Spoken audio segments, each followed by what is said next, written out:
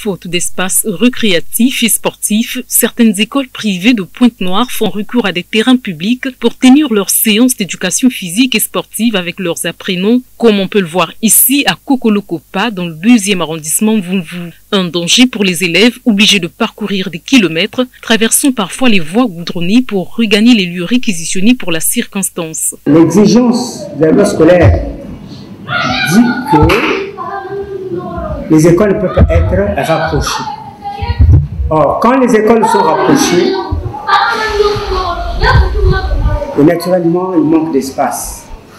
Et puis, les écoles, par rapport à la commune, je prends l'exemple de la commune, encore ceux qui sont au village, ça peut se comprendre. Mais ceux qui sont en ville, comme moi, Brazzaville, par exemple, on vient créer une école en plein quartier déjà, le quartier n'a pas d'espace pour que les enfants fassent les l'épaisse. Or, l'épaisse, c'est une discipline comme tout autre. Donc, nous sommes tenus à faire faire l'épaisse aux enfants. Le manque d'espace, on fait quoi?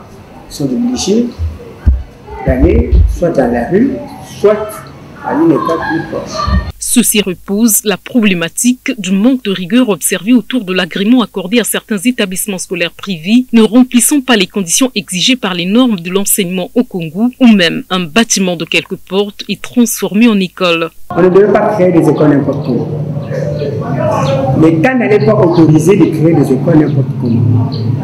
L'État devait venir regarder l'espace là où on va implanter l'école avant de te donner l'autorisation qu'elle soit provisoire ou définitive. Alors, on n'en a pas d'ailleurs. Or, les autorisations sont données à tout vent. C'est seulement que tu te présentes, euh, la loi qui institue les écoles privées, elle est trop large. Cette situation, qui ne redore pas le blason du système éducatif congolais, devrait interpeller les autorités de tutelle en vue des mesures correctives.